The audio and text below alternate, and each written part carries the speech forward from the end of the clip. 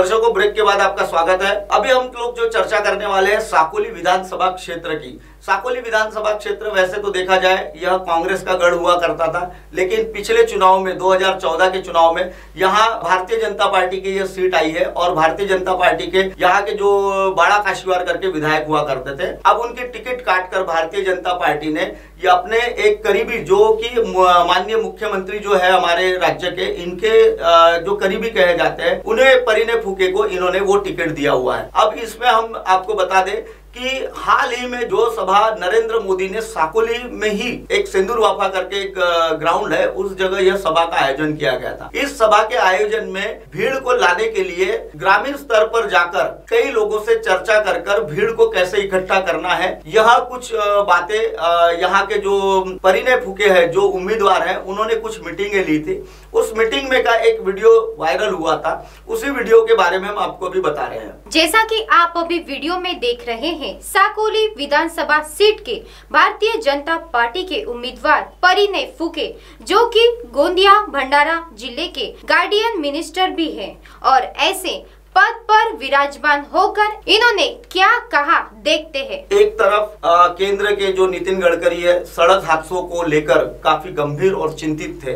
उन्होंने हाल ही में एक केंद्र सरकार की गाइडलाइन जारी की है सड़क परिवहन के नियमों के बारे में। आप वाहन कैसे चलाना है? अगर आप मोटरसाइकिल चलाते हैं तो आपको हेलमेट पहनना अनिवार्य है।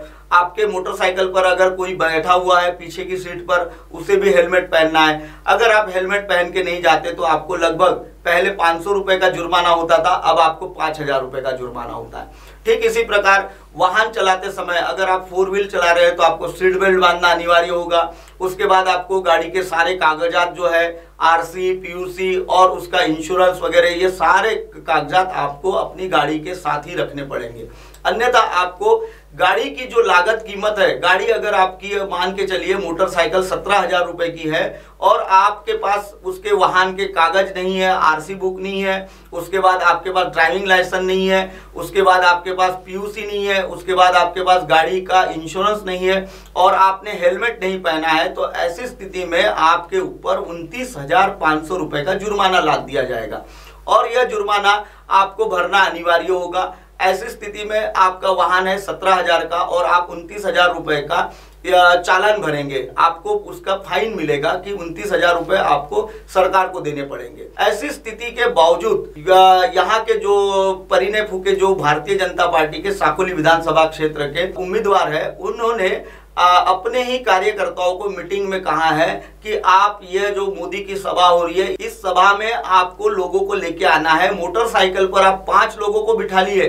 अगर किसी पुलिस वाले ने आपकी मोटरसाइकिल रोकी तो आप उसे मेरा नाम बताइए ऐसा कहा है। जबकि यह भारतीय जनता पार्टी के मौजूदा स्थिति में राज्य में मंत्री भी है और गोंदिया भंडारा ज़िले के यह गार्डियन मिनिस्टर भी है।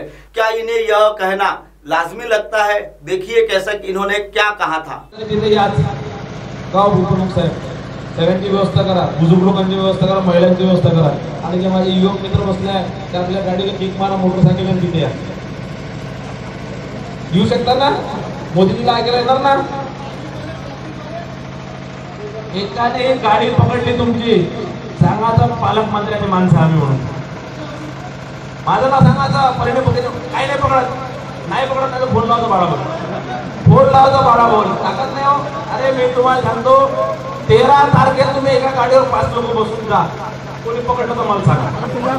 जैसा कि मैं आपको अभी बता दूँ कि यह जो परिणय फूके है, इन्होंने गोंदिया भंडारा ज़िले का विधान परिषद का चुनाव भी लड़ा हुआ है। गोंदिया भंडारा विधान परिषद का जो चुनाव होता है, यह विधान परिषद का चुनाव, वहाँ की जो जिला परिषद है और भंडारा की जो जिला परिषद है, वहाँ के उम्मीदवार, जो वहाँ के जो चुन के आए हुए उम्मीदवार होते हैं, वो इन्हें वोट करते हैं। साथ ही साथ नगर पंचायत के जितने भी उम्मीदवार जो सदस्य होते हैं, वो भी इन्हें वोट करते हैं। ठीक इसी प्रकार पंचायत समिति जो होती है, उसका जो सभापति होता है, वो उन्हें वोट करता है। यानी ये सारे वोट जो होते हैं का, काफ़ी कम मात्रा में होते हैं दोनों जिलों में। लगभग 300-400 वोट होते हैं और ये 400-300 वोट लेकर यह विधान परिषद के मेंबर बन जाते हैं। तो इस इस पूरे मामले में एक हमारे पास वीडियो आया हुआ है जिस वीडियो में ये जो दो लोग आपको दिख रहे हैं ये दोनों लोग भारतीय जनता पार्टी के पदाधिकारी है। इसमें से एक जो विजय काव्यते करके है यह मोरगांव अर्जुनी नगर पंचायत के उपाध्यक्ष भी है और अभी फ़िलहाल वह नगर सेवक भी है उसी नगर पंचायत के। और इनके बगल में जो आपको मोटा सा व्यक्ति दिख रहा है यह जो उमाकांत ढेंगे है यह मोरगांव अर्जुनी के भारतीय जनता पार्टी के तालुका अध्यक्ष भी है। देखिए इन्होंने क्या कहा। एक्चुअली आपको बताता हूँ पंद्रह लाख किसी को दिए किसे पहली बार हाँ। पंद्रह लाख का आंकड़ा टोटल झूठा है। अच्छा। पंद्रह लाख एक ऐसा है वो अरे त्या आपला कोणतं इलेक्शन एमएलसी च्या इलेक्शनले पंद्रह पंद्रह लाख भेटले. ऐसी वाली जो हवा है. हाँ। उस बेस पे वो बोल रही है ये आठ लाख कहाँ से? नहीं ये दस लाख मैं बता रहा हूँ ना आपको. पंद्रह लाख नहीं दिए उन्होंने दस दस लाख लाख. सबको दिए अच्छा। पंद्रह लाख नहीं दिए उन्होंने दस दस लाख लाख. सबको दिए अच्छा। पंद्रह लाख नहीं दिए उन्होंने दस दस लाख सबको दिए अच्छा। बता रहा हूँ ना आपको. पंद्रह लाख नहीं दिए उन्होंने दस दस लाख लाख. सबको दिए अच्छा. आपको बता रहा हूँ पिक्चर घर पर नहीं। सबको. या परिजय जी रहे जो वो उनके पक्ष रहे सबका वो इनका रेडी था। इस पूरे वीडियो की जब आप देखते हैं तो आपको ये बताएँगे कि किस तरीके से विधान परिषद के चुनाव के जो वोट होते हैं वो कैसे खरीदे जाते हैं। जैसा आपने अभी देखा है कि यह जो पूरे मामले में इन दोनों ने जो अपना बयान दिया हुआ है लगभग विधान परिषद के जब चुनाव हुए तब उस दौरान जो मतदाता थे जो इनको जो चुनाव में जिता कर लाने वाले थे और जो विधान परिषद में इनको भेजने वाले थे उन्हें इन्होंने परिणय फुके ने दस दस लाख रुपए दिए हैं।